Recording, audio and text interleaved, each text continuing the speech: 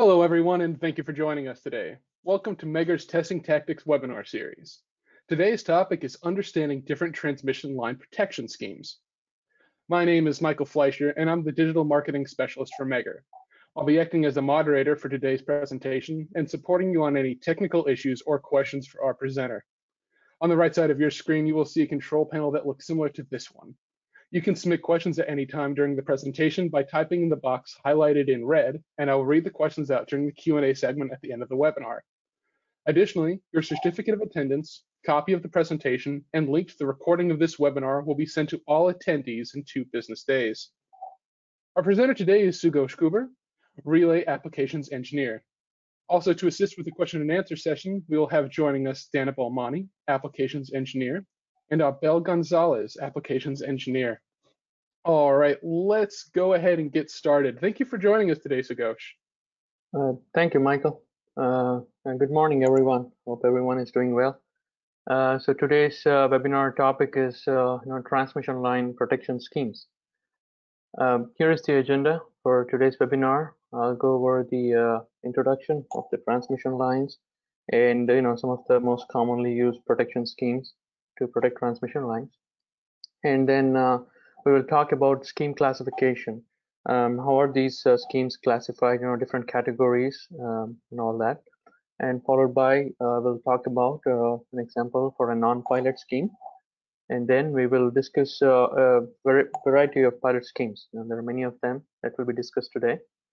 And then uh, I will talk about testing. how can we perform testing of these schemes? And then what kind of test challenges uh, that you may come across, right? And some of the test considerations you need to make uh, when you're testing these schemes, followed by the conclusion. So let's get started.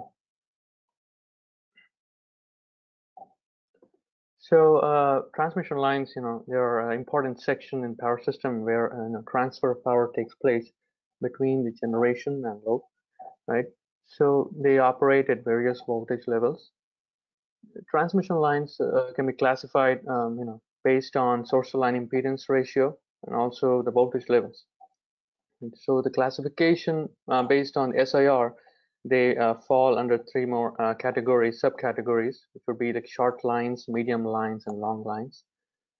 Uh, power systems, they operate close to their stability limit. So when we see, uh, you know, some disturbances that occur in power system, they usually occur within a millisecond or less. So what it means is that you know the protection system should be able to recognize these faults and clear them as soon as possible.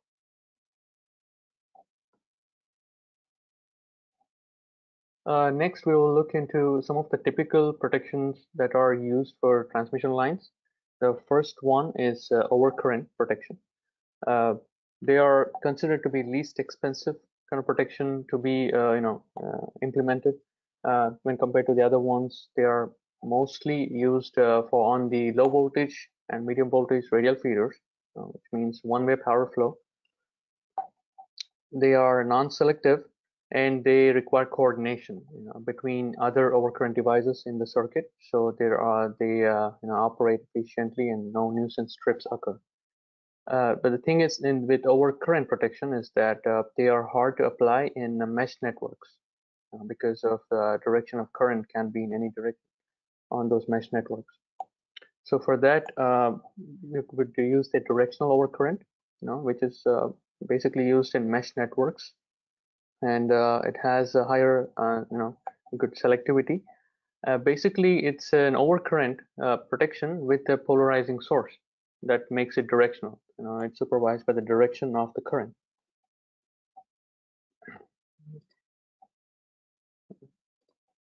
So uh, next uh, type of protection we're going to discuss is the distance protection.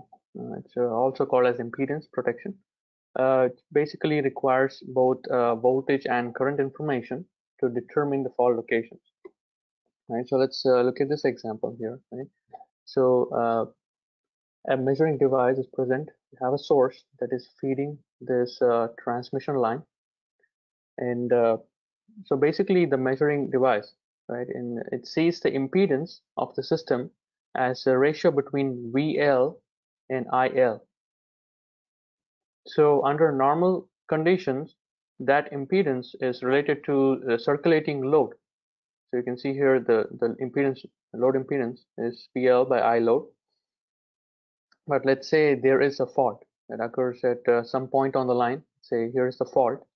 Uh, then the impedance that is uh, you know, to the fault that is seen by the device becomes the impedance of the line to the point of fault.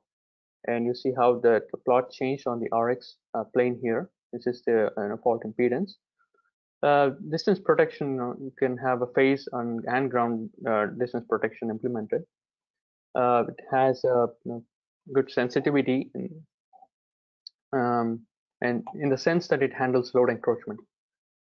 It requires coordination, uh, just like we spoke about in overcurrent, because there are multiple zones that are, that are created um, for distance protection. Uh, next type of uh, protection that we are going to talk about is uh, communication assisted trip schemes. So, uh, and the majority of the focus on today's webinar would be on the communication assisted trip schemes. So, as the name suggests, there is a communication channel that is involved, which means that you know there is more than one relay involved in the in the scheme. There are multiple. There can be two relays in the scheme. There can be multiple relays in the scheme. So, um, so and and they are considered as a fast tripping schemes, you know, uh, as opposed to the conventional distance or any other protection that we just discussed in the previous slides. Uh, next, next up, we will talk about a non-pilot scheme. Uh, uh before we go non-pilot, uh, we'll talk about the scheme classification. So the schemes are uh, first and foremost classified under under two categories. The first one is a pilot-based scheme, and then non-pilot-based scheme. So pilot pilot protection. Uh, we talked about communication-assisted trip schemes, so those come under the pilot schemes. Uh, pilot protection is you know used for high-speed tripping, and in this type of protection, the quantities at different terminals are compared using uh, some kind of communication channel instead of a direct wire interconnection. That is what pilot schemes are. And then uh, example of non-pilot scheme would be distance protection, like a step distance protection. You don't have uh, communication involved. There are you know there are multiple zones that uh, of settings that are present in the step distance relay that is monitoring uh, the line for faults on on any, anywhere on the line.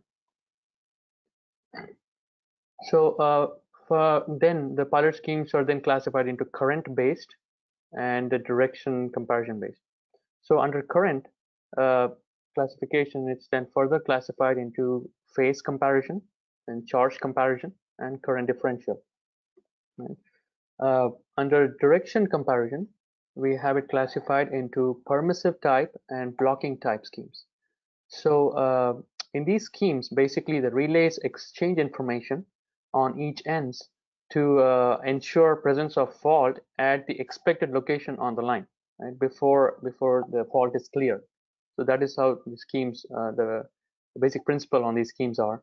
And uh, you know, the permissive and blocking differ, uh, and the fact that uh, the scheme requires a permissive signal, you know, between the relays to be exchanged, uh, so that it can issue a trip for a fault. Whereas for the blocking, it's the opposite. It requires to the relays to see a blocking signal so that the, uh, they don't trip on a fault which is not on the line. So uh, some of the commonly known uh, trip schemes um, are know, the POTT, uh, PUTT, and DUTT under permissive. And then we also have DCB and DCUB schemes. So, uh, so today's uh, webinar will, will majority focus on, on these schemes here, uh, under permissive and blocking. So the uh, the current based schemes uh, will be you know discussed in detail in an upcoming webinar in the month of August later this year. Uh, next, we will talk about uh, the non-pilot scheme, uh, which is the step distance protection. so step distance protection is one of the common methods employed in distance relays uh, for transmission line protection. So here, uh, you know, the method makes use of the impedance of the line to create multiple zones of protection. And each zone is calculated by a predetermined percentage of the line impedance. So uh, basically the settings uh, with respect to each zone in a relay will define uh, the relay impedance characteristic. So there's something, uh, there are certain characteristics that are called as mho characteristic and quadrilateral characteristic, and there are many others. These are the common ones that are used, and they are displayed on an RX plane, right? So here is an example of a mho characteristic. So let's say uh, uh, here's my transmission line, where where here's a mho circle on the RX plane, and this mho circle uh, is set for a particular reach setting, which relates to part of the impedance on the line. So basically, this mho circle is protecting part of a transmission line, and uh, and let's say when the relay there's a relay location, and when the relay uh, the, the impedance fault impedance that the relay is measuring if that falls within the small circle, it means that it has detected a fault and it's going to trip for the fault. So anywhere inside the mho is the operate region. External to the mho, the calculation of the uh, impedance would be on the restraint region, so no trip external. Right? And here is an example of the uh, of a uh, quadrilateral characteristic, uh, similar to the mho. Uh, you have uh, operate and restraint regions, and here is your relay location. It's just the way this uh, characteristic is defined and built. And then uh, we'll talk about typical zone settings. What what are some of the zone settings that you would come across on these relays? Uh, so it so in this uh, particular diagram, what I show here is three zones of protection I have transmission line A, A to B, and then a line from B to C, right? So zone one protects 80% of line AB. That is how, uh, you know, this is a typical setting. It can be 75%, it can be 90%. Uh, I'm just showing these settings as an example. And then zone two is 120% of that line. So it reaches beyond line AB. It goes to BC here. And then zone three can be 150%. You know, you, all, you would also have seen that zone three usually is a reverse uh, direction uh, zone that is set in the reverse direction of the transmission line. So uh, next, let us uh, look uh, into an example of what happens. Uh, how does the distance, step distance, work when there is a fault on the line? Right. So here, here I show again the transmission lines A to B and B to C, two of them, and then we have zone one uh, that shows it's covering 80% of the line and it is an instantaneous function. There is no time delay. Then um, zone two covers 120% uh, of the line, right? Or you know, it goes beyond the line, and with it with a time delay of 0.5 seconds that is set for zone two, and then zone three uh, goes to 150% on the line, well beyond the line, and then it has a delay of 0.85 second. So, uh, so when there is a fault that is as shown on line AB, which is close to the breaker A, uh, so zone one, uh, zone one is the closest that is uh, to the fault. That is, it's looking at the fault. Zone two and three will also be detecting the fault, but ideally we want zone one to trip for this fault, and it's an instantaneous function, so it is going to trip uh, for that particular fault, right? So if the fault lies at this point on line AB, so zone one would not be seeing this fault now since it lies outside zone one's reach, right? It's only zone two and zone three which will be looking at this fault. But uh, because of the time differences, the time delay differences between zone two and zone three, uh, zone two is going to um, take care of this fault before zone three would. Right? So there's a fight between the two.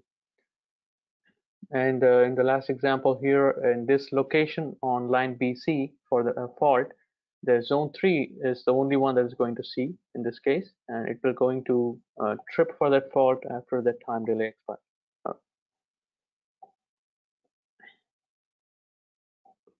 Uh, next, we will talk about uh, pilot schemes. Before we go into the schemes, uh, itself, we are going to talk uh, about the channel classification. You know, different types of communication channels are used in pilot protection schemes. The first one, uh, you know, talk about is pilot wires. They are uh, basically, you know, twisted uh, wire pairs that are used for transmitting, uh, you know, a 60 hertz or a 50 hertz uh, signal between different terminals. Next type of communication is power line carrier. Right, I have a picture that uh, would help you uh, visualize it much better. So basically, the radio frequencies are you know uh, transmitted over high high voltage line here, uh, and they are in the range of uh, 30 and 300 kilohertz. Right, the way this works is that you know the RF signal is connected to the line here, the high voltage line, uh, through a tuner and a coupling capacitor unit. So the tuner cancels the capacitance of the uh, coupling unit. So what this does is it ensures uh, a low impedance resistive path for the uh, you know the RF signals to be efficiently transferred. And we have the the setup similar setup on the other end as well. So uh, so that you know the, the RF passes through to the receiver on the other end. Uh, a line trap is also connected in the line here at each terminal to minimize the signal loss. So, so that is how uh, power line carrier channel communication channel works. The next one is the audio frequency tones that are used with these type of channels we just discussed, uh, you know, be it power line carrier, these uh, wire pairs, and they are uh, uh, in the range of 1,000 to 3,000 hertz. The fourth type of uh, channel is known as microwave. And again, you have uh, radio signals that are transmitted between the terminals, uh, here basically by the line of sight. And they range between 2 and 12 gigahertz. So uh, when I say it's by line of sight, it means that uh, the medium in this case is basically space. So no additional equipment is needed. And it's important to account for uh, topology of the transmission path, which can affect the signal. And the last one is uh, digital channel.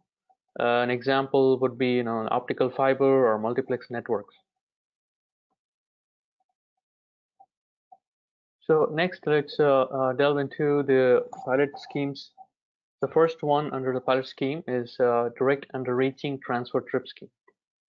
Um, so direct means that uh, there is no you know two-way communication uh, at the same time here, which means only one relay will send a signal to the second relay depending on the location of the fault.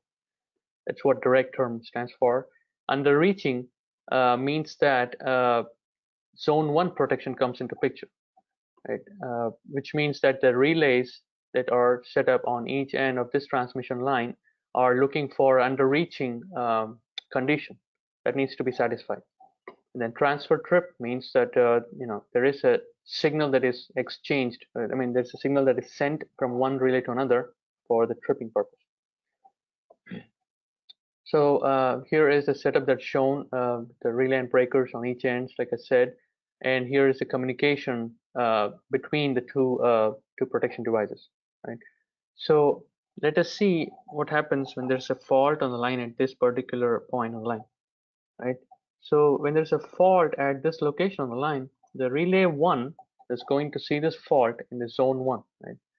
So it's seeing an under underreach condition already. So the relay is going to, uh, you know, wherein the signal is going to be sent into the OR gate in the logic, and then the OR gate is going to send a trip signal to the breaker, right? So to trip the breaker but at the same time right uh, the relay 2 and the remote relay also is seeing that fault so uh, what happens next is that uh, after the trip uh, circuit breaker trips from the relay 1 here uh, there's a signal uh, that is sent from the trans transmitter of the relay 1 to receiver on relay 2 right this is a signal that is sent to relay 2 to trip for that fault that it's looking at right so when relay 2 sees this uh, this command, it is going to uh, you know get the signal on its logic. Since it's an OR gate, it just needs either underreaching condition or a command signal from the opposite end for it to be able to trip the breaker. So uh, in this case, the time taken for for the relay 2 to trip for the fault, this fault was uh, you know still outside its under reach, but it still tripped uh, based on the command from the relay 1. Uh, the time taken uh, to trip off a relay 2 may be somewhere close to uh, three cycles or very few cycles. If this was a conventional distance scheme, the relay 2 would have uh, you know would have seen like a zone 2 fault and would have cleared um, after uh, you know the delay maybe of 25 cycles or you know whatever delay the conventional distance uh, zone 2 would have so we did see how quick the DUTT scheme isolates the fault as compared to the conventional distance scheme um, so let quick summary on the DUTT uh, scheme so we see we see that you know it operates at very high speed for uh, you know closing faults and zone one faults, uh, which means it's faster than a conventional distance scheme, right? And then uh, you know overlapping underreaching zones. So the underreaching functions you see here on the relay one, you see the underreaching function goes all the way up to this point on the line. Same way the underreaching function goes up to this point on the line. They must overlap if they don't overlap, there would be a dead zone on the line where no faults would be detected. Uh, since the communication channels are involved, if there, the, there are noisy channels, there can be a false trip. Uh, so the the scheme does not operate for faults that is beyond the reach of the uh, you know underreaching elements if the remote circuit breaker is open or if the remote communication channel is inoperative. So um, for this reason, you know, DUTT schemes are often used as uh, only a supplement to other pilot tripping schemes.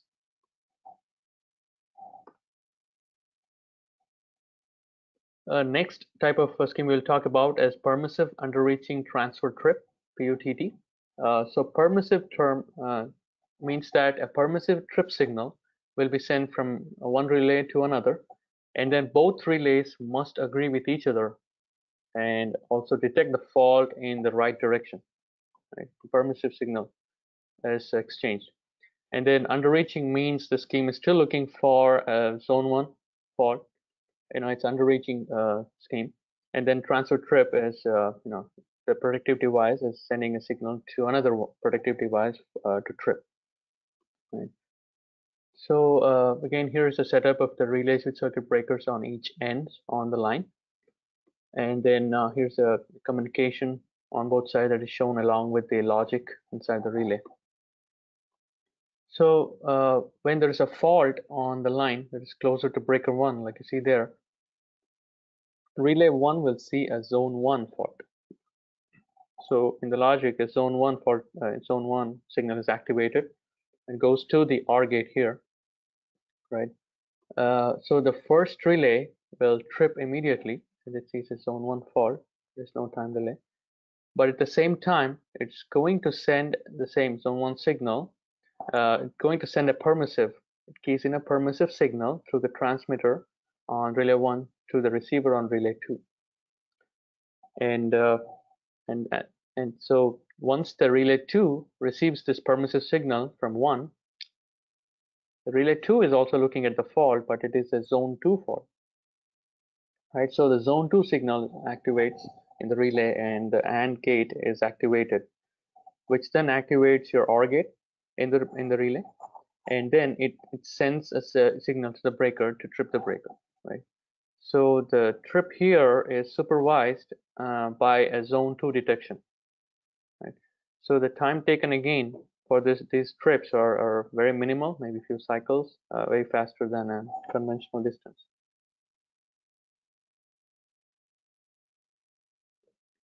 A quick summary on the on the PUTT scheme. Uh, the scheme is you know similar to the DUTT. They both are still looking at the uh, uh, underreach functions to start with, but then except that you know the each terminal is uh, the tripping is supervised by a uh, RO RO function like overreach as well. And since and it's using a permissive trip signal. Right? So uh, the thing with uh, comparison with PUTT and DUTT is that uh, PUTT has very less chances of maloperation under noisy channel conditions as compared to DUTT because there is a, a you know supervision of fault uh, zone two fault right? After receiving a permissive signal unlike DUTT there is no supervision on that. The moment uh, the relay 2 received the fault it just tripped on it so um, and then for the out of section faults, uh, you can say POTT does not send a permissive, right? If the if the fault lies on, out of this section here, the, uh, this particular relay will see overreach uh, uh, fault, but then it won't send a signal um, to the opposite relay here, right? So a POTT scheme is ineffective for faults beyond the unreached function uh, near the open terminal when the when the remote breaker is open. So uh, next uh, type of scheme we're going to talk about is uh, POTT scheme. Uh, you know, the only difference between the POTT and PUTT is the you know between the overreach and underreach. So basically here the relays that are on each end are looking for a overreach condition, right? So you see that uh, the overreach on relay one is all the way up to let's say 120% of the line, and for the relay two, the overreach you see here is on the other direction, 120%. Um, so uh, the basic logic for a POTT scheme is that it requires zone two elements, and according to this logic, it requires a permission received from the remote end. So basically, it has to satisfy these two conditions for to be able to trip, right? So when we have fault on this line at this location, uh, it both the relays will see a overreach condition because this fault falls on the overreach on both the relay settings and then it sends the permissive right? Both the relays receive the signals from each end and then the AND gate is activated right? Because the AND gate requires the permission from the other end as well as the relay to send a signal that it has seen a zone 2 fault right? Once these conditions satisfy uh, the relays are going to trip the circuit breakers and isolate the fault from the system. A quick uh, uh, summary on the POTT uh, is that for external faults, the overreaching uh, at only one end of the line operates, right? So uh, if there's an external fault here, uh, so the overreach condition is still seen here, but since the other relay is not going to see a fault, since the fault is behind the relay, there won't be any permissive receive. So what happens is the tripping is not initiated at in that case. The so you can say that the scheme is very secure that it does not trip for any external fault if the communication channel is inoperative.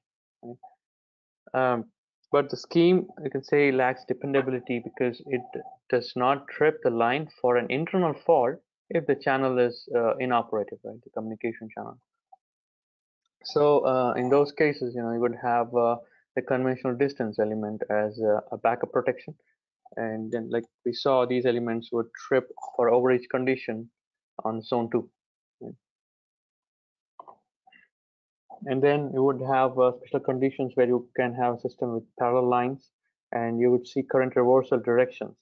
So in that case, you would require additional supervision for the existing POTT to be able to tackle the current reversal condition. Uh, next type of uh, scheme we'll discuss would be classified under the blocking uh, type of scheme. And this is known as DCB, which is a directional comparison blocking. So unlike previously discussed schemes, uh, this uh, scheme uses a blocking uh, signal to ensure that relays don't trip on an external fault. So what I show here is that, you know, the transmission line A to B, and then we have a transmission line B to C, and we have faults that are shown on multiple locations of these lines right along with that uh, we also have uh, zones uh, what are the zones that cover uh, you know uh, different uh, you know parts of these lines? Like for example like zone a zone one you know from relay a's perspective this is the coverage for zone one on the line a to b. And zone one for relay b would be on this direction here. Uh, just marked up these zones so it's easier for you to visualize where these zones actually uh, cover, right? And then zone 2 on relay A covers all the way up to this point. You see these arrows there because it's zone 2 for relay A and zone 2 for relay B is in the other direction. And then zone 3 for relay A is in the uh, reverse direction. Uh, and similarly, zone 3 for relay B is also in the reverse direction for that particular relay. So in this uh, example, let us take a look at the fault tree, right, and see what happens, uh, how the scheme works.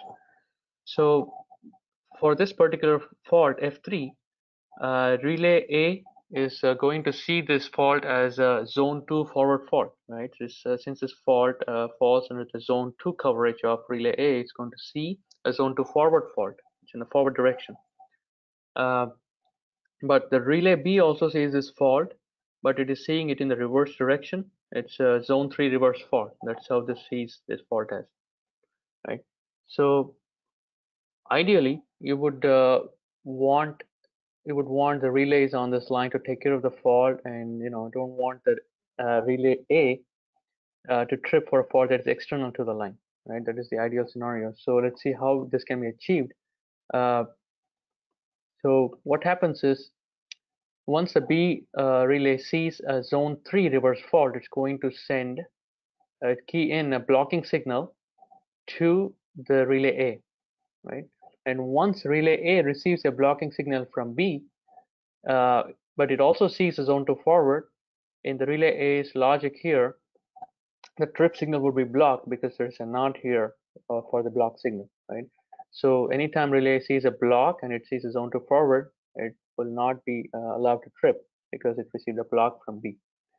Uh, so in this case, relay A will not trip for the fault, but relay B, uh, you know, B relays on this particular line will trip for this fault. So that is how a DCB scheme works. Uh, and a quick summary on the DCB is that uh, we saw it uses a blocking signal to ensure correct operation depending on the direction of the fault and the you know uh, element that it compares to detect the fault. So uh, so basically for uh, in section fault, there will be no blocking signal sent from B or A, right? So because it's inside the section, no blocking signal is sent. So both the end, both ends will trip fast.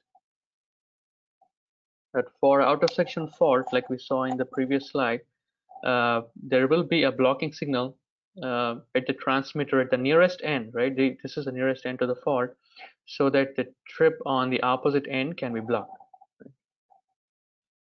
And a coordination between the relay zone elements is uh, very important. So in the sense that you know here in this example the zone 3 element must reach further on the line as compared to the zone 2 element right if it's the other way around then zone zone 3 would not be detecting the fault but zone 2 on the opposite end would be detecting the fault. So coordination is crucial.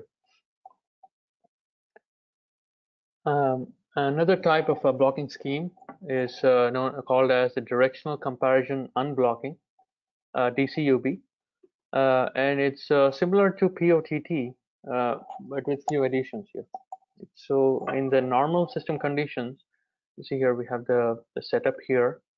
Uh, you have this communication that is set up in the normal system conditions. you would see that there is a guard signal that's being continuously sent both the ends to each other. Uh, the guard signal is nothing but a block signal. And uh, so when there is a fault on the line, let's say there's a fault condition, uh, the blocking signal is not exchanged anymore. The, uh, the blocking signal is stopped. And then since the relays are looking at the uh, overreach, overreaching condition, uh, they're going to send send in the signals to each other, right? And then trip the breaker. So this is uh, during a fault condition, but it has a check, uh, but there is always a guard signal, um, you know, until it, the relays detect a fault. So now um, let's uh, navigate back to a normal condition where the guard is continuously uh, being exchanged, the guard signal. Uh, when there's a fault again, but uh, this time there is a, you know, there can be failure in the communication channel. Let's say the transmitted trip signal is short circuited by the fault, right? When that happens, uh, you know, a timer is started, right? There's a timer that starts, and these timers are, you know, are typically set around 100 to 150 milliseconds. So um, scheme allows the trip to uh, take place, you know, if that is within the window of this timer, right? So scheme allows the trip of the breakers. But once the timer is expired, and if the fault is not detected by, uh, you know, by these relays, the scheme will allow tripping only if the trip signal is received Right? So the assisted trip uh, will not be uh, supported if the timer is expired and the fault was not detected by these relays. Uh, a quick summary on the DCUB.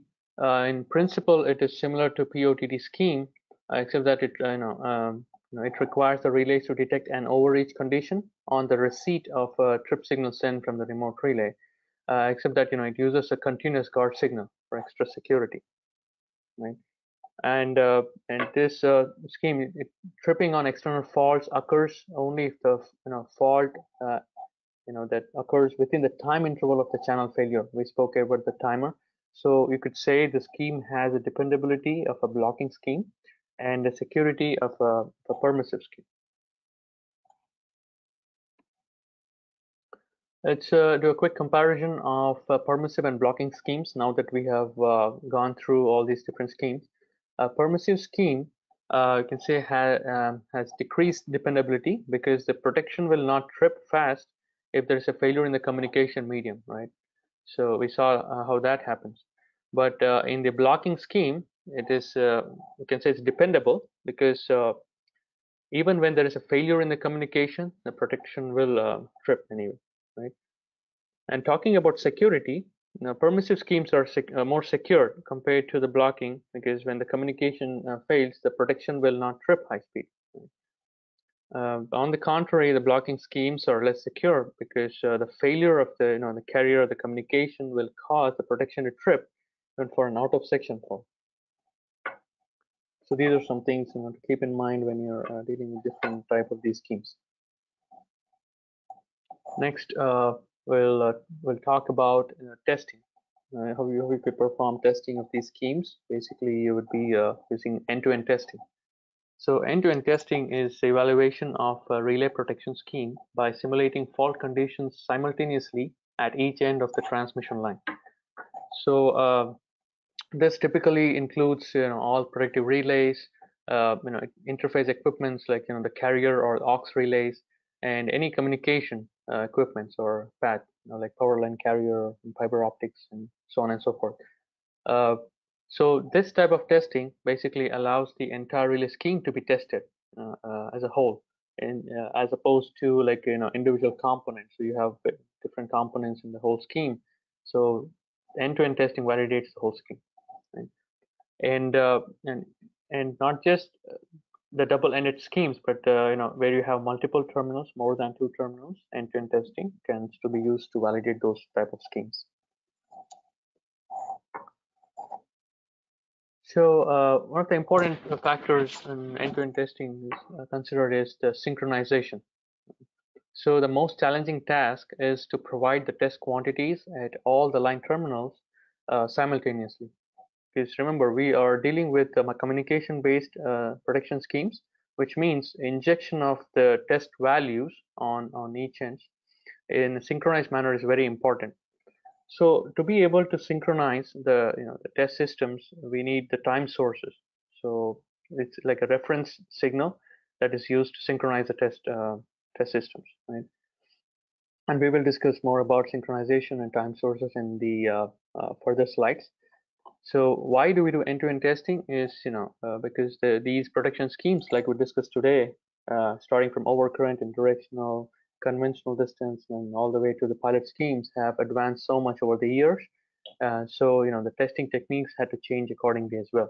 So evolution uh, of these test methods have uh, made us use something like end-to-end -end testing. And this is the only way you can validate a communication-based scheme uh, in its entirety successfully.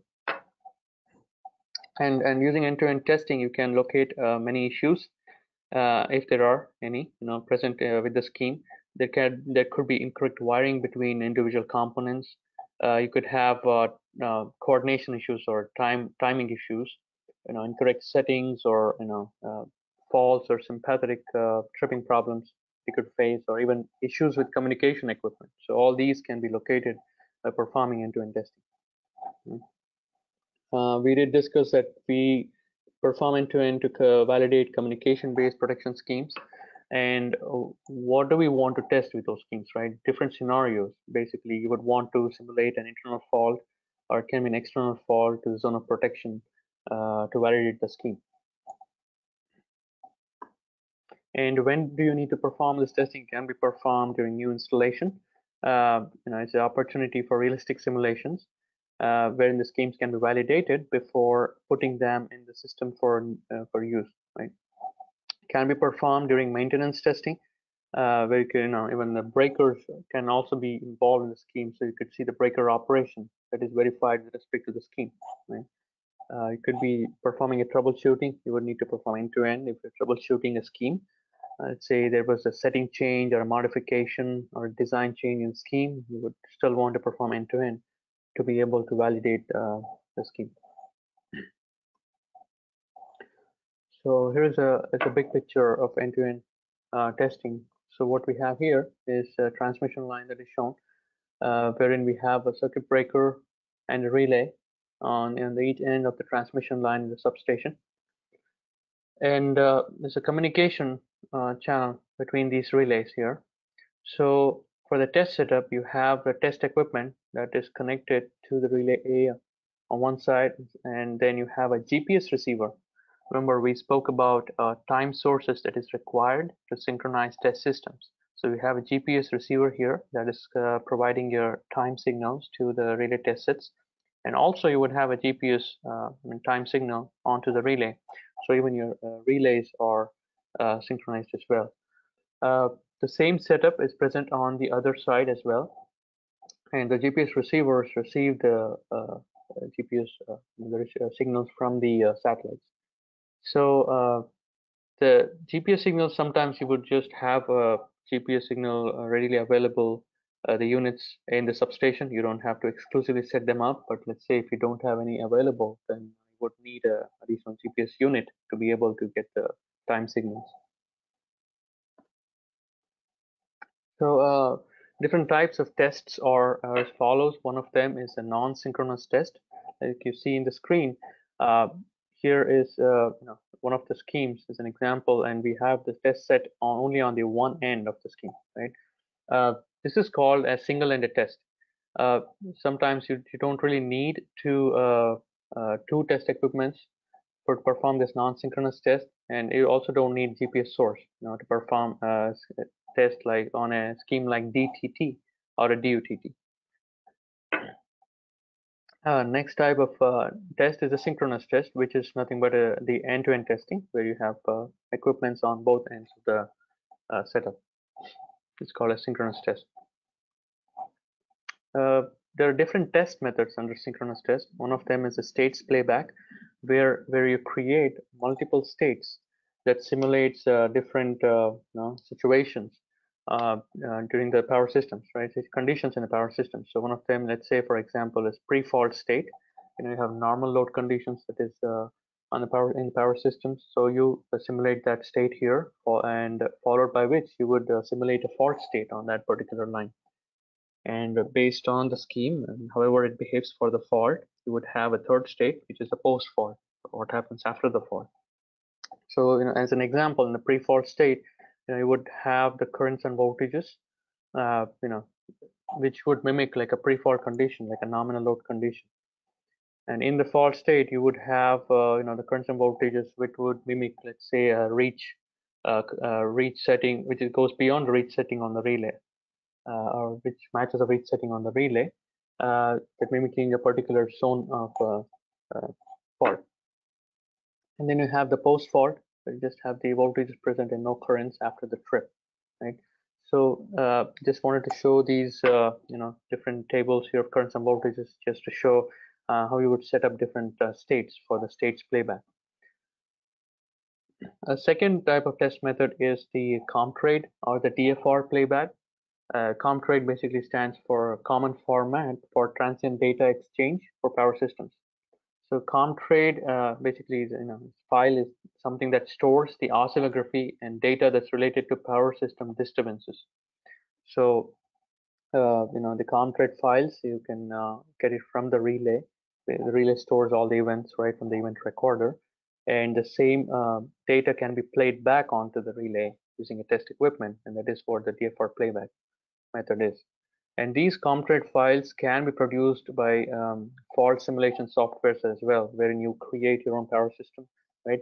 And you model the power system, you uh, simulate certain faults, and you can download COMTRADE files from them as well. Uh, next, we'll talk about uh, GPS uh, receiver units and different timing modes. Right.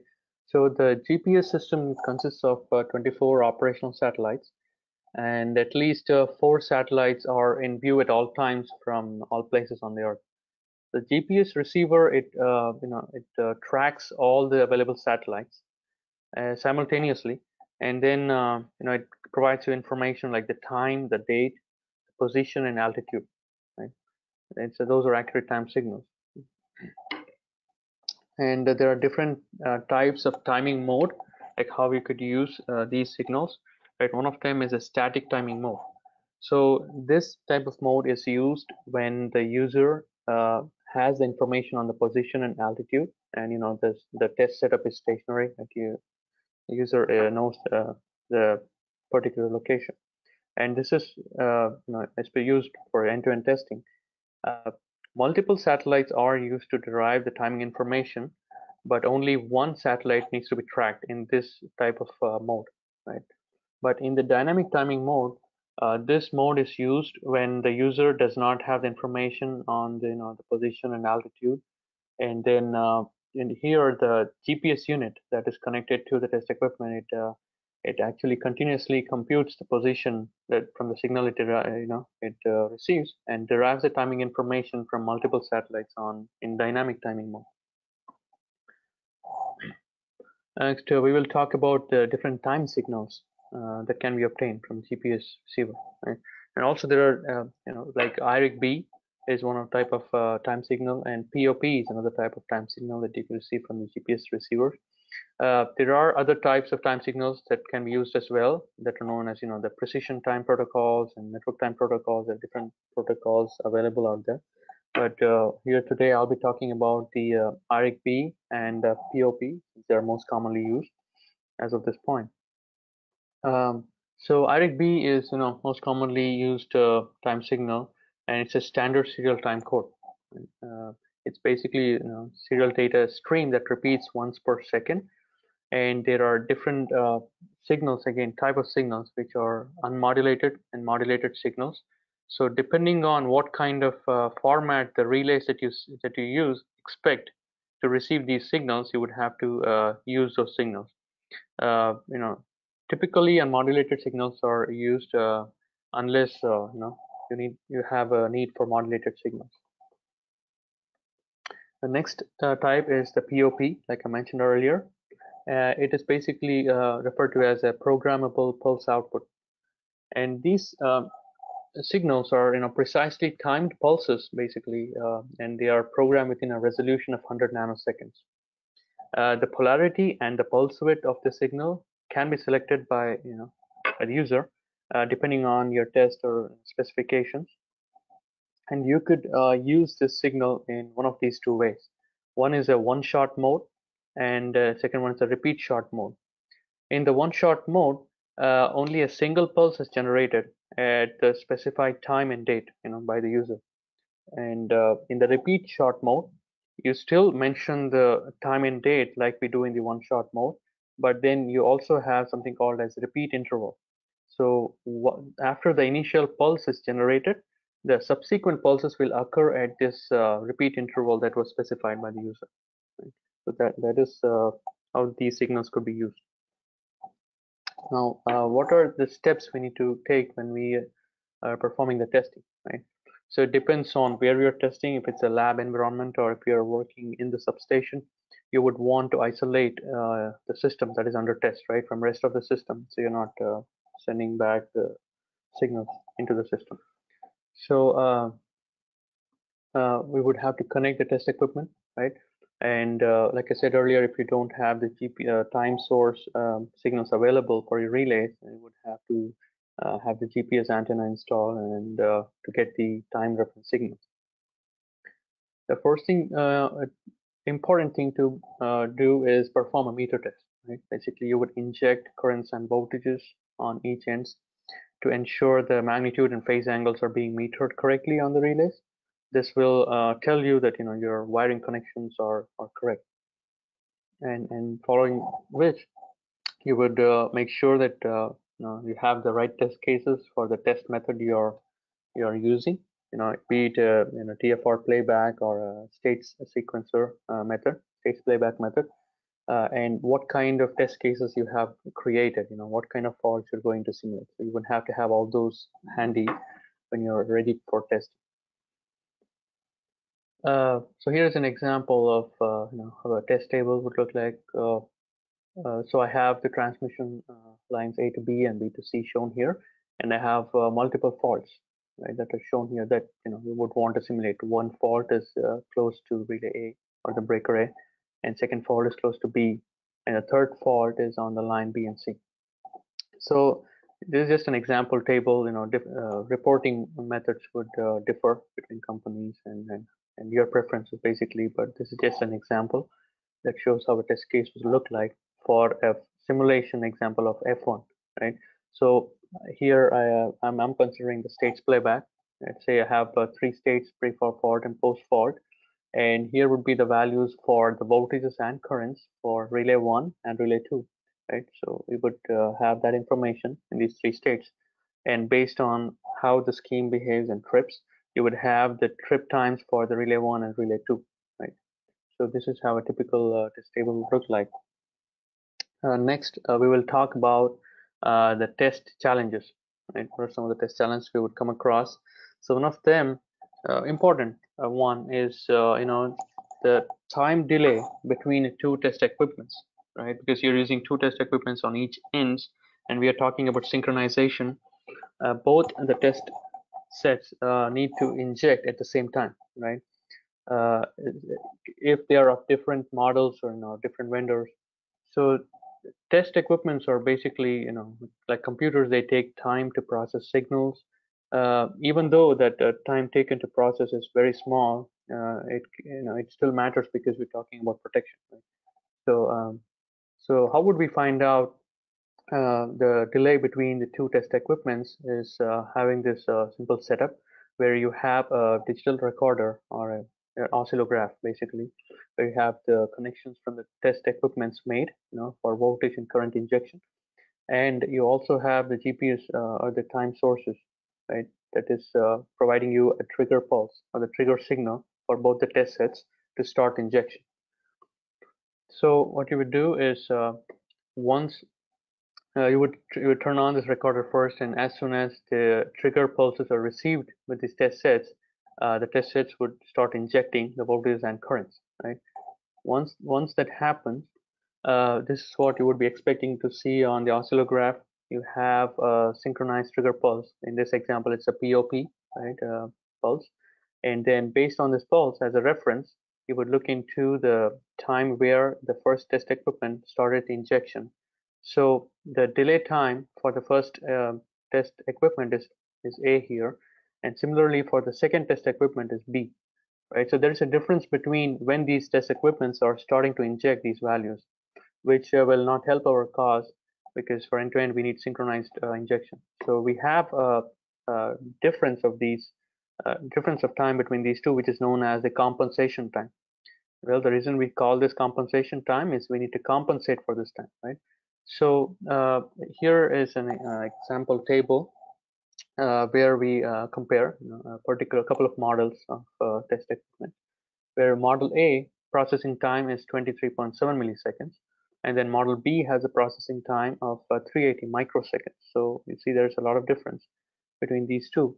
So which means that model B is the faster test set, and which also means that this particular test equipment needs to be delayed by the delay time. We spoke about the compensation time so that both of uh, relay A and B are um, you know synchronized and they perform synchronized injection. Of course, when you use the same kind of test equipment on both uh, both both ends, you don't have to delay any of those because they they should be injecting at pretty much the same time. And uh, once you have uh, the delay time, uh, you would you know use it either on the uh, on the time time unit to uh, to mention you know whichever time unit you're using uh, uh, and then or you could also use it on the software itself the test software that you use to perform the testing and on that particular test equipment. Uh, next, we'll talk about uh, uh, the consideration and challenges that we come across, uh, you know, performing end-to-end testing. So one of them is the breaker simulator. You could consider using the output from the test equipment to simulate a breaker instead of you know having the real breaker being tested many times. Of course, it goes both ways. if you have the option of you know testing the breaker, you could do that. If you don't have the option, uh, and you're performing a test in a lab environment, you're, you're making sure the relays operate fine, you can still use a breaker simulator. Um, and then uh, what are some of the uh, additional checks you would perform and what kind of selection you would make for your fault simulations, right? So like we discussed earlier, you would uh, you would want to simulate multiple types of faults, like say 5% on the line and 50% on the line or 95% on the line. So at different uh, locations on the line, you're simulating the fault to make sure the schemes operate as they're supposed to, right? And and and again, and you would uh, want to you know um, simulate different types of faults on these locations, right? Three phase and phase to phase and uh, uh, single line to ground faults. And and some other additional checks you would want to consider, you know, maybe to uh, uh, validate breaker failure logic at each end, and and also loss of potential, right? So what are some of the re common reasons why uh, end-to-end test would fail? Uh, would be, you know, like we discussed, the timing delay between both uh, both ends. You know, uh, the injection needs to be synchronized, and we saw how you could find out the time delay if you're using two different test equipments for end-to-end testing. And sometimes you would not be having the IRIG-B signal, like the signals would not be, uh, you know, being received on the relays or on the test equipment and sometimes you would not have a good reception of the GPS signals that's coming into the location where you are. Uh, and you you could have you know the incorrect test values being injected at one end if you know there's not a good coordination when you're running the tests with the test cases that are being created and all that. Uh, here I have uh, shown some Megger SMRT relay test products. Uh, one of them is the SMRT1, like I've shown uh, a single phase test equipment. I've shown three of them can be chained together to perform, you know, uh, end-to-end testing. Uh, here is a SMRT46, which is a three-phase uh, test equipment, and we have a SMRT410D, uh, which is uh, more than more currents and more voltage channels. We have a variety of these models, and Megger also makes the MGTR2, which is the um, GPS timing reference that it acts as you know the timing uh, timing unit that receives the signals and, and give provides you the accurate signals for the uh, test equipment. Right. Uh, so we are at the last slide, which is the conclusion. So today we discussed about uh, you know different types of protections that are implemented that are used. Uh, we did go over the non-pilot scheme, which is a step distance, was one of the examples, and the pilot schemes. We went over many of them and and these are classified you know under permissive and blocking and we saw we did do some comparison of the permissive and blocking type of schemes um, uh, depending you know, uh, on the factors of security of a scheme and dependability of a scheme. And then followed by that we discussed uh, how to perform uh, or, or what kind of testing is done to validate these schemes which is the end-to-end -end testing. And uh, we discussed uh, different challenges that can come that we could face you know like we need to have accurate time signals or you know the time delay between the two relay test equipments and communication issues you know between the relays or the test value injection the test cases are created correctly and all those kind of things uh, finally, I would like to say, uh, you know, the knowledge of these protection schemes, uh, the different test methods, and the field experience will help uh, technicians perform the testing more efficiently. Uh, this uh, concludes the presentation part. Now it's time for questions. All right. Good deal. So, as mentioned before, the presentation portion of our webinar is officially concluded. Uh, Sugosh, if you'd like, you can pause the recording on our questions slide for our audience here. Uh, so, we'll take some time to answer as many of your questions as possible here shortly. If you have any questions, please submit them now into the Q&A box on the GoToWebinar control panel. For those of you that are leaving, when you close the webinar window, a survey should pop up on your screen.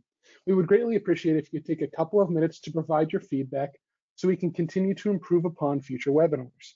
On the survey, there's a field where you can also request a demo or a quote on any Megger products. A copy of this presentation, certificate of attendance, and a link to the video recording of this webinar will be emailed to everyone in about two business days.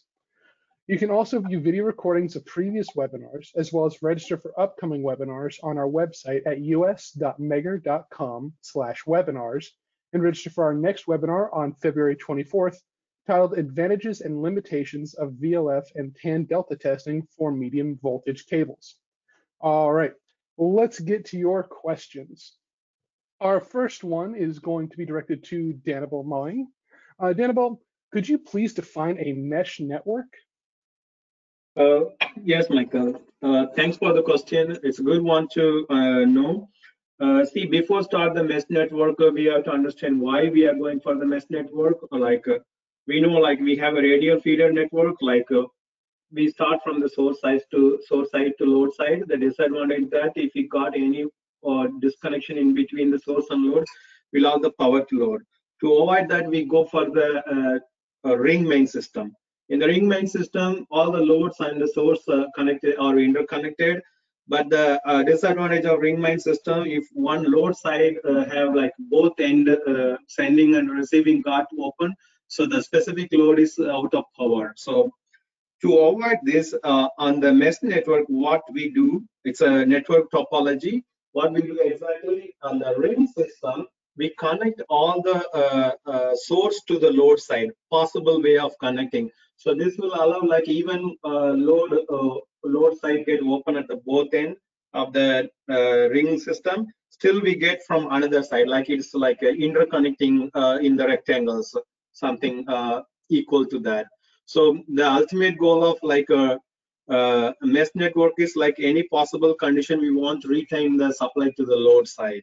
So it's like it's not one or two side feed. It is like possibly, preferably, it's a three side uh, feeding for one load side. All right, thank you, Danibal.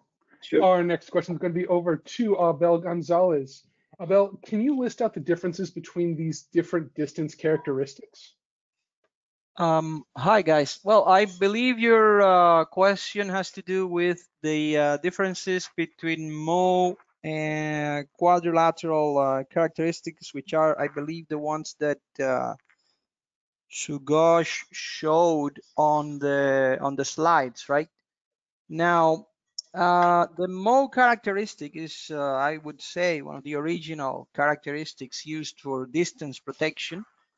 Um, it is the a natural derivation or a natural result of the uh, use of electromechanical uh, means of protection in uh, in power systems, and that's why it has that round the round form that comes from the uh, locus of the subtraction of impedances as seen from the relay at the point of the relay measurement, right?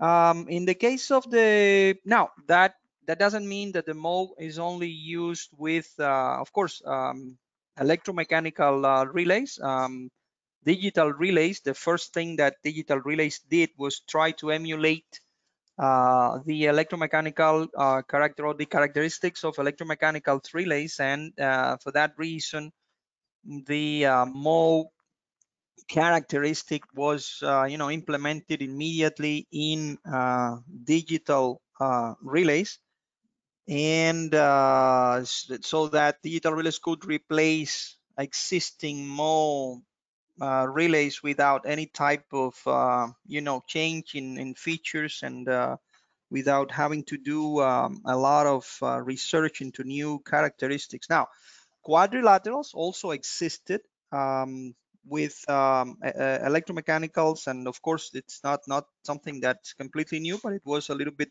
more difficult to develop because it needs uh, different elements to um, emulate the different um, sides of the quadrilateral that uh, we are talking about and therefore they were um, more difficult to uh, implement. And of course, they were also implemented in the um, um, digital relays as soon as the digital relays became uh, uh widely uh, available. Now, the uh, differences when it comes to protection is that on the case of the mho characteristic, you can basically play with the uh, diameter of the circle and you can have as many uh, zones as you as you want but it's basically always a uh, circular uh, form. Of course there are lenticular and other uh, forms that you know are i would say der derivations or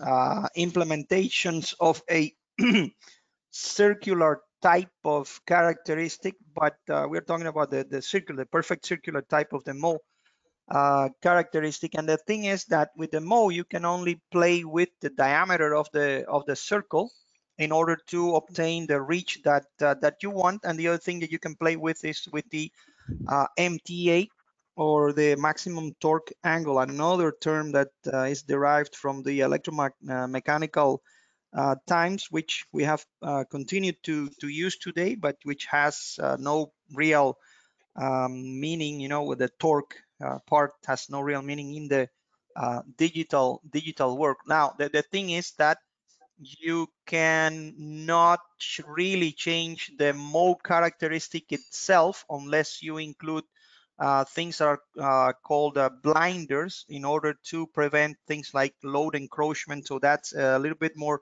difficult to deal with when you have a mho characteristic. With the quadrilaterals, on the other hand, you can define perfectly the uh, reach in each of the four or three sometimes quadrants in which you want the uh, um, protection to to operate. Another thing is that the mho characteristic as well as the uh, the quadrilateral are inherently uh, directional uh, characteristics. And uh, the thing is that with the quadrilateral, you can be more specific. It's easier to obtain the type of protection that you want. It's just a little bit harder to uh, figure out where do you want to put those uh, um, uh, the, the, the, sites, I would say, of the of the quadrilateral in order to obtain the proper reach and the proper coverage of uh, the different areas of protection that uh, that we are talking about.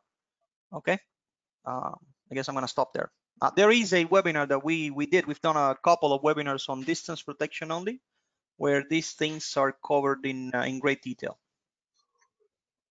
All right. Thanks, Abel. Back over to Danibal. Uh, what if the lines do not have the same length? How do you determine the zone margins? Additionally, what if there are one or more taps on line two? Yeah, it's a good one. Um, see, determining the zone margins or zone settings, uh, we have some specific guidelines uh, defined uh, say one, you got only one transmission line, uh, you may end up having only zone one or zone two. If you have the remote uh, substation, have multiple lines uh, with the various uh, length, then it is a challenge for defining the zone one for the protected line. Sorry, zone two and zone three for the protected line. So zone one, it is always like 70 to 95 percentage, but in general, we use 80 percentage of the protected line. And zone two would be the 120 percentage of the shortest line what we are using in the uh, substation B where it is originating from the substation B then the zone 3 would be like 150 percentage of the longest line which is just originating from the substation B. That means like example you have like uh, substation B which you have like 20 miles line 50 miles line and 100 miles line. So you will pick the uh, 20 percentage of like uh, uh, 20 miles line for zone 2 of the uh, uh, substation A and zone 3 would be like 50 percentage plus zone 1 line length for the zone 3 I think that's it from my side on this one. All right then. Uh, back over to Abel. Uh, Abel, will Z2 and Z3 act as backup protection for Z1 if Z1 protection fails to clear the fault? Um, yeah, okay. That's uh, that's an interesting question, um, and the answer is that, and I don't want to say that zone two and three will act as backup protection because even though Sugosh uh, showed zone three uh, in the forward direction, uh, it zone three could be in the forward direction, but you could also have a zone three in the backward direction. So um, eh, that's why I don't want to say that zone two and three and I'm, what I'm going to say, uh, act as backup protection of zone one. What I'm going to say is that any forward-looking uh, zone will act as a backup of zone one. However, uh, when you have a fail of zone one operation, um, it is very likely that zone two will fail as well unless the zone one uh, I mean, the fault happened in the boundary between the, the zones and it was not, but if the, if the fault happened clearly on zone one, it's very likely that zone two won't see it as well. And the reason I say that is because it's very likely that the problem was with the relay and not with the uh, uh, fault detection algorithm. For that reason, I would say that even though they theoretically can act as a as a backup, I mean, any forward-looking uh, zone will act as a backup of the of the uh, previous um, zone and the trip is going to be of course uh, slower. Um, it is good practice and it is a practice that I have seen followed in um, a lot of uh, utilities and places to have a second relay looking in the same uh, direction looking at the same line. Uh, and it typically is a relay from a different uh, manufacturer that and that's the relay that they use as a backup relay. They use the, these two relays to look at the same zone so that it, it the same line so that if one of the relays fails then the second relay would uh, would operate. So the answer is um, uh, yes no and depends. And i recommend that a different hardware is, is used for for the user's backup okay? All right. Thanks a lot uh, over to Danabal. If there is a conductor snapping between two substations, how can it be detected? If there are no line PTs at the receiving end, how can that be detected? This is really an interesting question, and uh, we will end up seeing these kind of scenarios where you have the industrial load that is a receiving end, and it may not have the source or may have the weekend source actually. So it is really challenging to uh, product this kind of lines. It's uh, mainly depend on the one end, uh, like uh, the substation, which is the feeding end, to detect zone one. But we can also uh, trip the other end by using the production function called weak infeed. Weaken in feed is something like we can product the open the circuit breaker which source cannot which source cannot be backfeed the fault and the the the end feed the fault it opens on the zone one or zone two whatever it is sensing. But the other end cannot open because it cannot have a uh, cannot detect the fault at the, the level or it, it is not able to like feed the fault. So then we can use the weak infeed that is like combination of under voltage or kind of like sending the signal uh, to the remote end to open the uh, uh the remote end uh, breaker in case of like these scenarios. This is really interesting one. Thank you Thanks, Abel. Or sorry, Danabel's. You got Abel's name. Over to Danabel, or Abel, speaking of, what are the checks we can carry out whenever an auto recloser takes place? What are the checks to be carried out? And are the checks online or offline? Uh, Mike, thanks for uh, you know confusing me with Danabel. I wish I had his brains. Uh, I know I had two options. I messed it up four times. So no, the the check. That's an this is an interesting question. Um, it's kind of open. I'm going to you know answer as if I was being asked the question uh, from the perspective of a transmission line because that's what the uh, uh, webinar is about. And the reason I mentioned that is because we can have uh, auto reclosers operate on distribution line, and uh, they, I would say, uh, the answer would be a slightly different if we were talking about distribution uh, rather than uh, than transmission. And on the other hand, I am going to answer also um, with the uh, I would say um, a boundary between uh, the, the, the, the, checks that the auto recloser does automatically when uh, doing the auto recloser, uh, the operation, and the checks that have to be performed by the personnel after the auto reclosure uh, happened and the line went back into uh, into operation. In the first case, um, auto reclosers are very are magnificent, you know, uh, machines. They perform uh, a lot of different checks when they're doing the auto reclosure. They use in some cases, and that's also part of the art of power system protection. Uh, because it's it's going to depend on uh, where uh, the philosophy of the of the line, the voltage levels, etc. But um, the, the, checks that are done by the auto recloser machine are is the line that I'm going to close to reclose on live or is it dead? um, am I if it if it is alive, do I have to check for do I check for synchronism, which I have to do if the if the line is alive? Uh, am I closing into a fault? All those things um, have to be performed automatically by the auto recloser machine, and it's going to depend on the uh, let's say manufacturer and the philosophy that is followed on the utility that the auto reclosing is uh, configured on.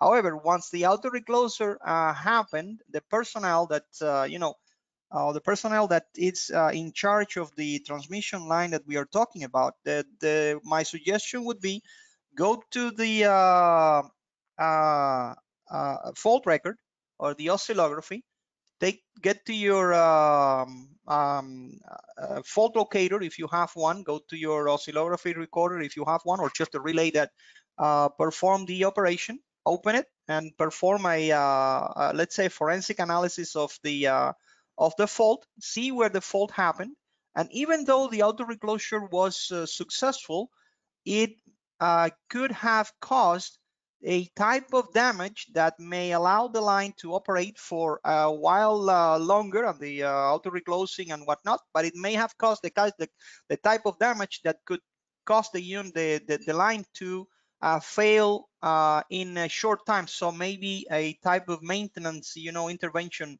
uh, could be, uh, you know, recommended. So my my my take would be in the in the second case, uh, get to the uh, oscillography and make an analysis of the oscillography, see if the auto reclosure happened, uh, you know, properly and uh, for reasons that, and also check that uh, what was the actual fault level that was involved. The fault level was too high, then maybe you need to send somebody to you know check the line, and for that, you know, what I'm saying is take the uh, fault locator uh, information. That will tell you where the, the fault on the line is and maybe you, need to send sometimes you need to send a helicopter or something just to take a visual um, appraisal of the uh, of the of the fault. And if you think that the, there is no problem leave it as it is. If not a maintenance action can be in in order there. All right? All right. Thank you abel. Back over to danabal though uh, could you please discuss open terminal keying or stop carrier when one end of the terminal is open in regards to breakers or line disconnection? Yeah, thanks, Michael. Uh, this one is like a real practical scenario. It may happen or may not happen. Uh, assume like you got a, a, a, fault in progress and you got open uh, one side of the breaker, line breaker is open, and at the same time you got a carrier fail or it kind of like you got a carrier fail or it may be open it is called uh, so carrier fail it is any point it is a carrier fail like other end is not receiving from the uh, one end of the breaker uh, which send a, a carrier. So it, it depends on the uh, depends on the schemes we used it, it, the production system is going to react. In most of the cases it is going to operate on zone 1 and uh, zone 2 other end is uh, zone 1 and zone 2 it depends on the um, operating time set on both side, like uh, zone 1 and zone 2 of the other other end. But uh, the special case is the DCUB scheme, like unblocking scheme. When the carrier is lost, the unblocking, the guard is gone, and uh, it will time out. And uh, uh, after the timeout, it will go for the trip. That's a one uh, special condition there. Otherwise, it's completely depends on the zone timing in this case.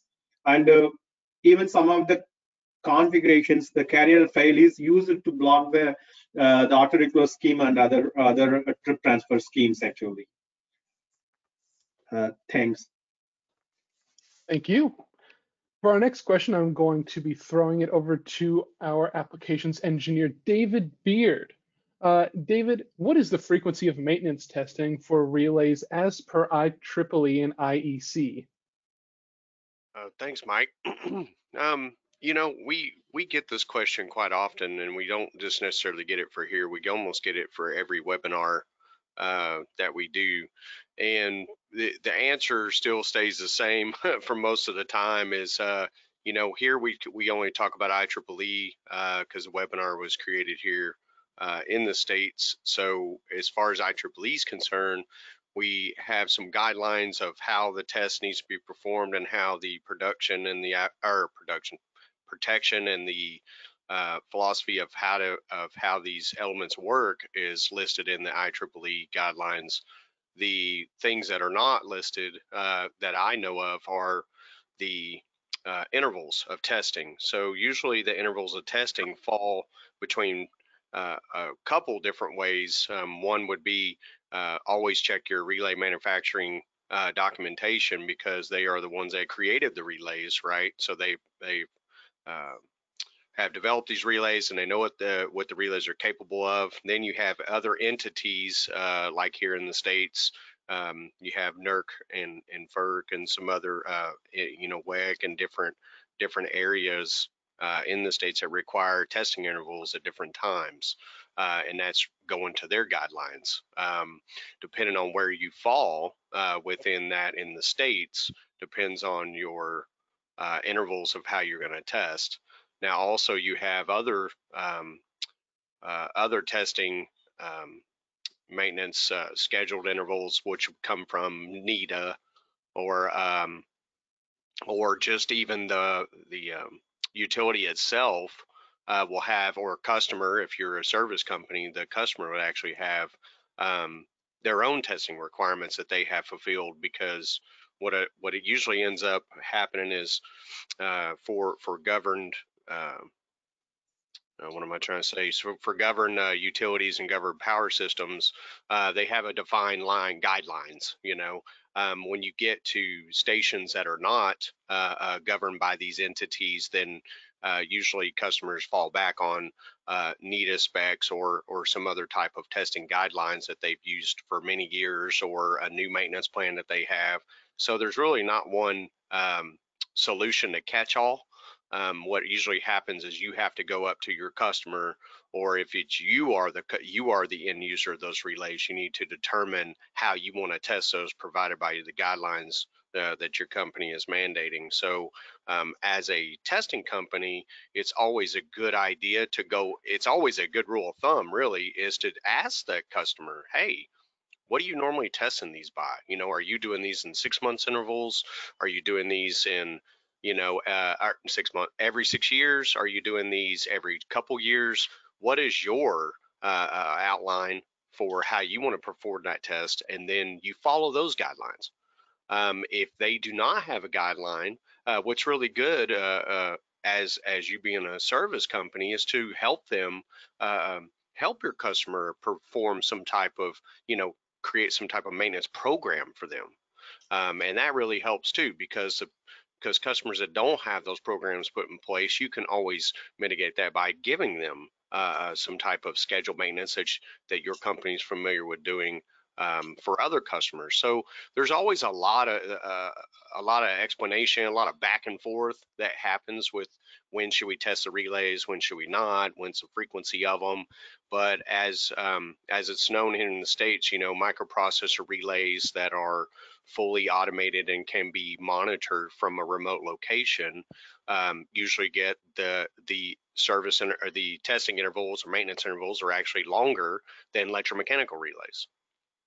So with electromechanical relays are more exposed to the to the elements and uh, could be outside in in breakers catching you know whatever elements are out there in the weather um, and and could could hurt the operation of them whether it be faster or slower so um, it, it's kind of a uh, conversation you need to have um, with uh, the customer, or if you are, like I said, the end user, um, you know, come up with with a plan and stick with that plan. Um, you know, maintenance maintenance doesn't get done uh, uh, every now and then. It's a schedule, and uh, it's just like operating on your vehicle. You know, you continuously change the oil in it for so many miles. It's it's a schedule that you perform. So um, I think here it's it's kind of uh, it's it's always a question, like I said, that we get asked, but also the answer uh, is is not going to be one answer for fits all. Um, I, I, would just highly recommend talking to uh, your customer or or kind of searching some guidelines on uh, what you should do for your company. Thanks. All right, thanks, David. Uh, back over to Sugosh. Uh, Sugosh, one question, would you be able to elaborate on which protection scheme is most commonly used? Uh, well, I mean, you know, it just depends on uh, well, uh, which location you are in and, and, all that. But most commonly that we have come across in uh, in the utilities in North America is the DCB scheme is very popular, um, and also you know, come across you know the POTT as well. But uh, going back to the DCB, that's uh, it's mostly used where you know the communications may be less secure during a, a, fault on the line, right?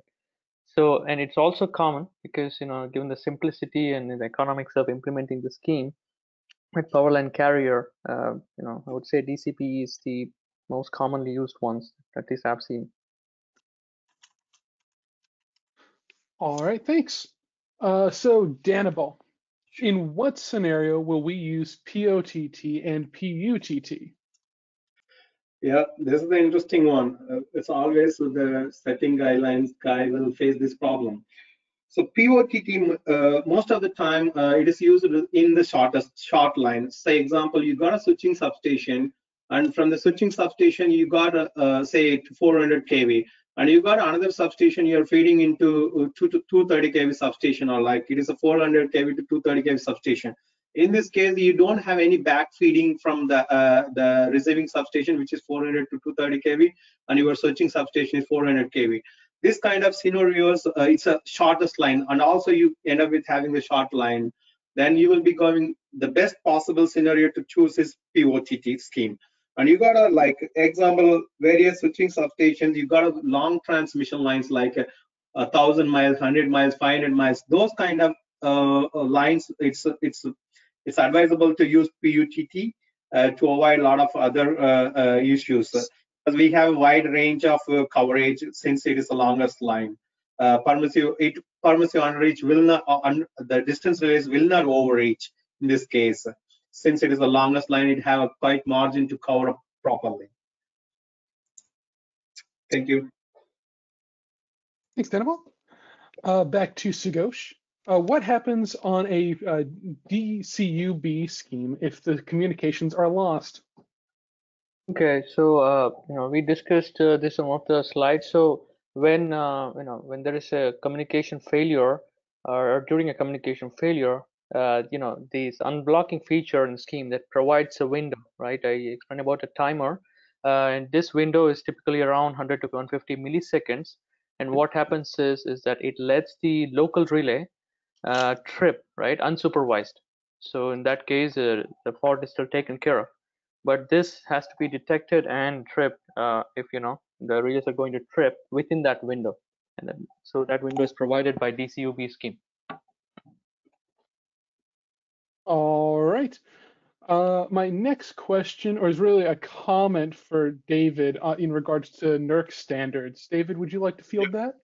Yeah, so uh, I, would like to uh, uh, just comment a little bit on this. So it came in just a few moments ago, and uh, it was uh, on testing intervals.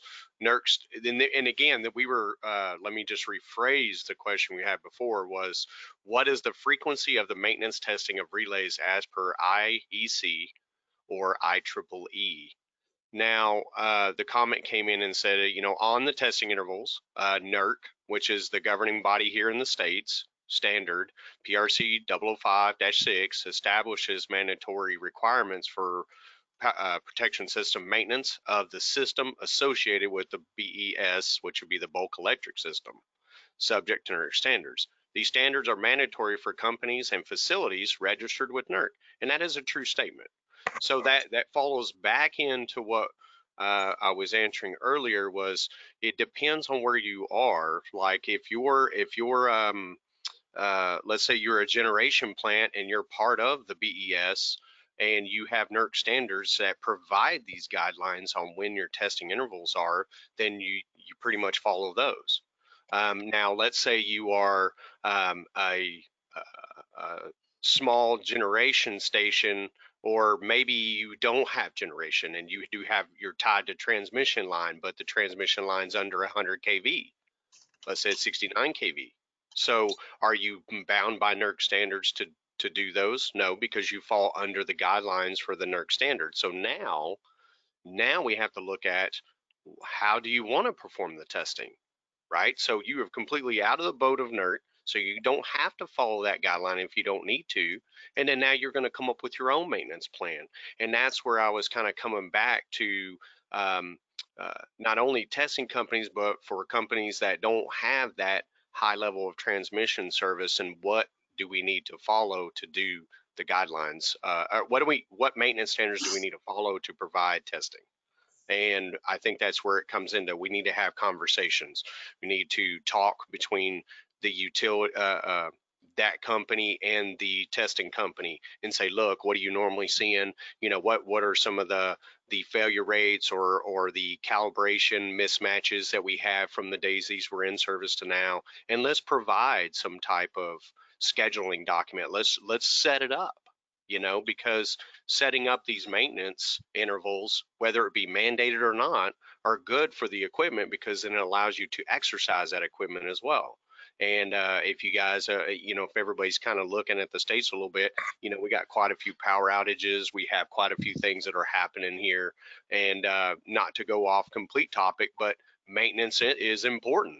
And uh, as you can see, sweeping the U.S., maintenance is a big concern. And uh, was it maintenance properly? If it is, it's working. If it's not, then we're kind of in limbo. So just kind of gives you an idea of a little, of a little bit of what's happening. But two, uh, I did want to bring this comment to light um, because we are talking about a specific standard in here, but that specific standard doesn't apply to everybody, um, especially if you're uh, following the IEC guidelines, which are actually international um, which they don't follow by NERC standards. So now we need to figure out what what is that maintenance interval going to look like. So we, we kind of play to the world a little bit. So we don't always uh, have our answers for the U.S. We try to, you know, make sure that we're covering a wide range of of U.S. and international. So that that is the comments I'd like to just follow up on a little bit. Um, so thank you, Mike. Of course, and thank you, David and Sagosh and Danabal and Abel. It looks like we're coming out of, well, we've run out of time for our Q&A session today. Uh, I'm sorry if we didn't get to your question live, but we work, we will work to follow up with you offline. But as a reminder, uh, a copy of the presentation, certificate of attendance, and a link to the video recording of this webinar will be emailed to everyone in about two business days. Uh, I'd like to thank you all for attending. If you could, please remember to answer our survey. That survey will include a field for you to request a quote or a demo if you're interested. But once again, I'd like to thank you all for attending, and I hope you all have a great weekend.